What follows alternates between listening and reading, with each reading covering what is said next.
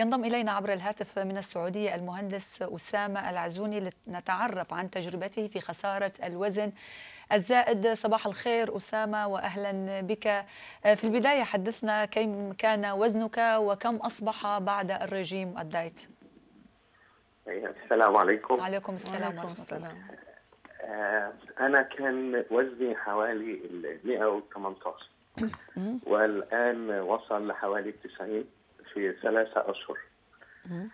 آه كانت التجربة في البداية كان كنت أشتكي كثيرا من الأشياء وأذهب للطبيب يقول لي ما فيك شيء روح وأفقد وزن. إلى أن يعني وصل إن في إحدى الأطباء قال لي سوي ربة المعدة وكذا فكان هذا التحدي. قلت لا أنا عندي إرادة ويجب أن أفقد الوزن بنفسي.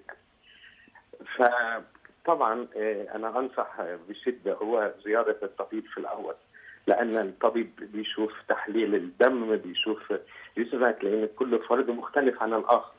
فعلى الأقل يكون على معرفة. الدايت يتم على معرفة. نعم. سيد أسامة كيف قررت يعني إنقاص الوزن؟ يعني ما الذي دفعك بالفعل إلى اتخاذ هذه الخطوة في إنقاص الوزن؟ هو معاناة فعلا. يعني الصباح أكون كسلان أكون عرق شديد جدا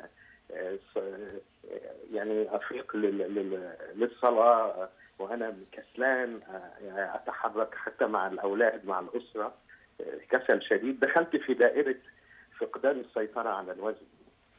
زائد كلام الطبيب عندما قال لي طبيب الانف وأذن قال لي روح سوي عملية فعلا كان هذا نوع من أنواع التحدي.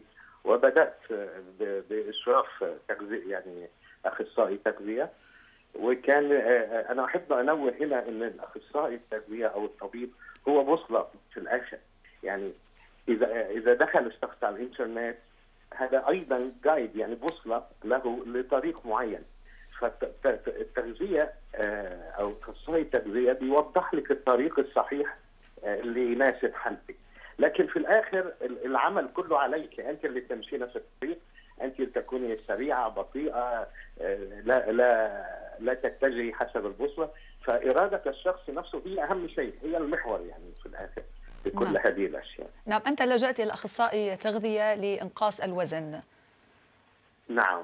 نعم. نعم. طب هناك مراحل خلال ثلاثة أشهر كما تفضلت وأنقاص هذه نعم. الكيلوغرامات نعم. الزائدة بالطبع هناك كانت بعض يعني بعض المصاعب التي مررت بها. ما أبرز هذه المصاعب؟ شوف هو عندما تكون هناك إرادة المصاعب تقل ولكن أكبر مصاعب اجتماع الأسرة مثلا على غداء على على عزائم على كذا أكل أو طعام تحبينه هذه هي يعني أكثر شيء اللي هي التحدي ان نسوي كنترول على على على الشهية وعلى كذا. لكن غير كده مع أخصائي التغذية أي مشاكل صحية بتكون أقل. يعني لو تشتكي من شيء بترجعي له لو كذا بترجعي له. ولكن هي إرادتك في الآخر هي الحافز. وطبعا أنا أنصح لكل شخص يريد أن يفقد وزنه انه انه يضع في داخله حافز يحفزه سواء كان صحيا سواء يعني يعني شيء نفسي ينجز شيء في حياته يكون أكثر نشاطا يكون مندمج مع المجتمع أكثر ثقة في نفسه.